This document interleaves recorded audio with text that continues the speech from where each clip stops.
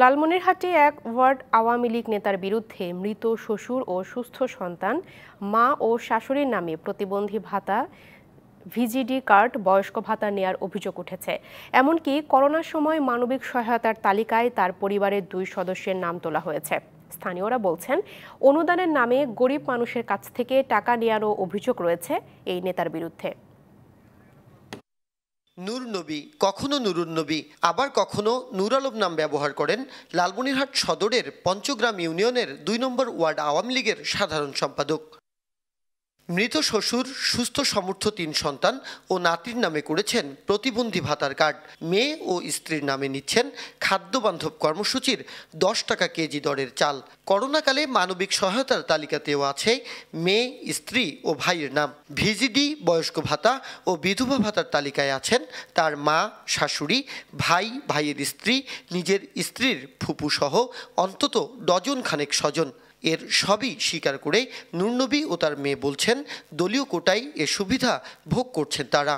আমরা যেহেতু দলীয় কোটা পাই আমার মেয়ের বা প্রতিবন্ধী ভাতা সে ভাতা তার প্রতিবন্ধী জরিপ কার্ড আছে। আমার ভাতা না আমার কার্ড আছে। আমি তুলি আর আমার বাপে তুলুক তুলছে।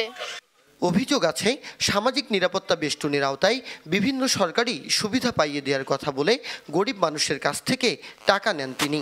এমনকি টাকার বিনিময়ে জীবিত স্বামীকে মৃত দেখিয়ে স্ত্রীকে বিধবা ভাতা পাওয়ার ব্যবস্থা করে দিয়েছেন। নুনবী পাঁচ হাজার টাকা আমার টেনেছে নিয়ে আমার কাট করি দেয় নাই। দুই হাজার টাকা দিছে। আজকে ছয় সাত বছর হয়। তবে এসবের কিছুই জানেন না বলে দাবি স্থানীয় ইউপি চেয়ারম্যানের। আর জেলা আওয়ামী লীগের নেতা বলছেন দলীয় কোটা বলতে কিছু নেই দলে কোনো প্রতারকের ঠাঁই হবে না। আজকে আপনার কাছে প্রথম শুনলাম। ওখানে সমাজসেবা বিচার আসে ট্যাগও বিচার আসে আসিয়া তারা ওয়ার্ড ওয়ার্ডই তারা বিভাজন করিয়ে তারা নিয়ে যায়। দলীয় কোটা বলতে কিছু আছে বলে আমার জানা নেই। ঘটনার সত্যতা পেলে এই কঠোর শাস্তিমূলক সাংগঠনিক ব্যবস্থা তার বিরুদ্ধে গ্রহণ করা হবে। পঞ্চগ্রাম ইউনিয়নের দুই নম্বর ওয়ার্ডের বিভিন্ন ভাতাভোগীর তালিকায় এমন আঠারো জন ব্যক্তি আছেন যারা জানেন না তাদের নামে সরকারি ভাতা তোলা হচ্ছে। এ বিষয়ে ক্যামেরার সামনে কথা বলতে রাজি হননি সমাজসেবা অধিদপ্তরের উপপরিচালক। তবে বিষয়টি তদন্ত করে ব্যবস্থা নেওয়ার আশ্বাস দিয়েছেন উপজেলা নির্বাহী কর্মকর্তা। আমি এটা এখনই আপনার মাধ্যমে জানতে পারলাম। খতিয়ে দেখব বিষয়টা যে সত্যতা আছে কিনা। যদি সত্যতা থাকে আহ, এর বিরুদ্ধে ব্যবস্থা গ্রহণ করা হবে। আমি যে গত মাসুদ ডিবিসি নিউজ লালমনিরহাট।